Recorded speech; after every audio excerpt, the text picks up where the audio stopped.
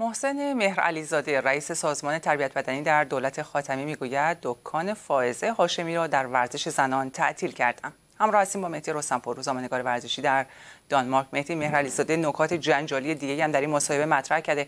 چقدر این اظهارات مطابق با واقعیته درود رویا در روزهایی که مسئله حجاب اجباری به شدت مناقشه برانگیز شده درگیری هایی و پدید آورده در سطح شهر و تجاوز ماشین هایی تحت عنوان گشت ارشاد خودروهای ون به حقوق شهروندان آزار اذیت فیزیکی و ویدیوهایی که مدام نشون میده که چقدر متشنج کرده شرایط رو برای زنان و غیر قابل تحمل کرده. به حال وضعیت رو همه دنبال می‌کنن این روزها.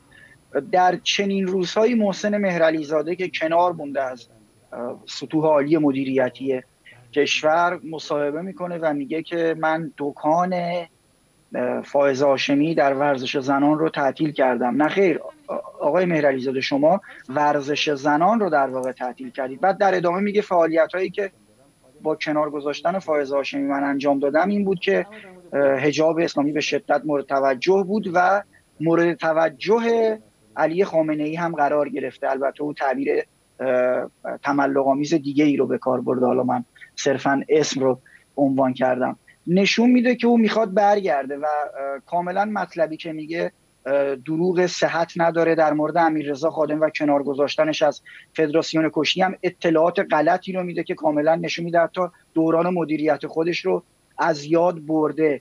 و مسئله فدراسیون بین المللی ورزش های که از غذا به تعبیر خود مهر زاده اینجاست که دکان تشکیل شده و بازدهی نداره. یه بودجه هنگفتی که می‌گیرن و مثلا میگن ما در نپال زورخانه ساختیم. خب برای چی؟ به چه دردی می‌خوره؟ وقتی که در خود ایران زورخانه ها رو خراب می‌کنن به جاش رستوران سنتی و قهوه خانه و قلیون و این مسائل رو برپا می‌کنن. به حال مصاحبه بسیار پر اشتباهیه و صرفا به نظر میاد مهرعلی زاده می‌خواد چراغ سبز نشون بده و نوعی تمایل با این مصاحبه تملق آمیزش که برگرده و پستی رو در اختیار بگیره.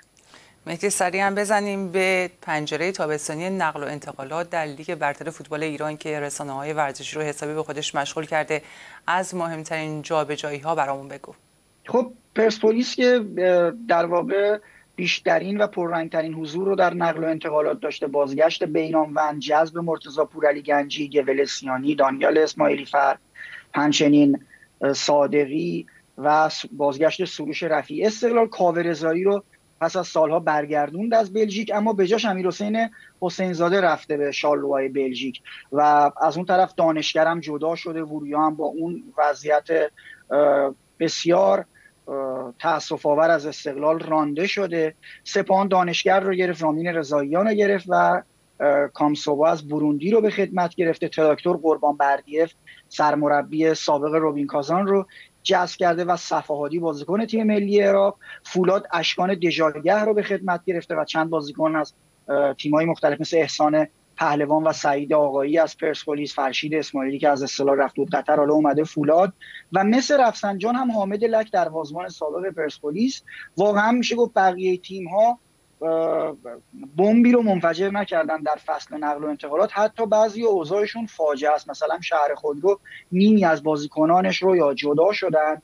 هیچ خرید جدیدی هم نداشته. خب این تیم با چه کیفیتی می‌خواد در لیگ برتر حضور داشته باشه؟ و از همون ابتدا خب در قهر جدول قرار می‌گیره. کاملا مشخصه که 4 5 تا تیم دارن هزینه می‌کنن.